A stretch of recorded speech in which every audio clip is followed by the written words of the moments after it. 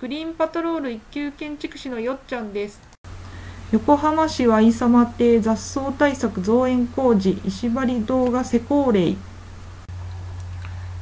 こはこれから工事をする場所ですか？はいこの白い砂利のところなんですがあの地元のホームセンターに、えー、雑草対策の工事を約2年ぐらい前にお願いしたんですけれども、はい。草がこうどんどん生えてきちゃってるんですねで防草シートを敷いて砂利を巻いたはずなのにあいろんなこの椿の 芽まで出てきちゃってあ防草シート敷いてあるんですか？が防草シートあ本当ですね。はい。うん。ですからいかにあの地元のホームセンターでっかい店なんですよ。皆さんがよく知ってる店なんですよ。はい。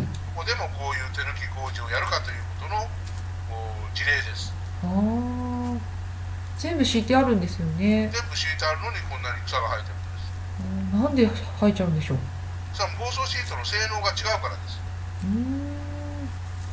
ですからこういう状況になっちゃってお客様が困ってホームページを見てご連絡してきたんです。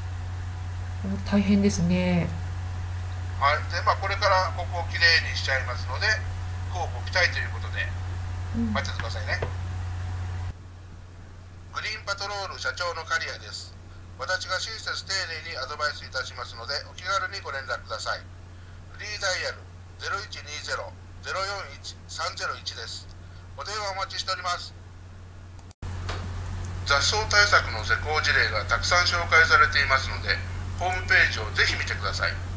チャンネル登録もよろしくお願いします。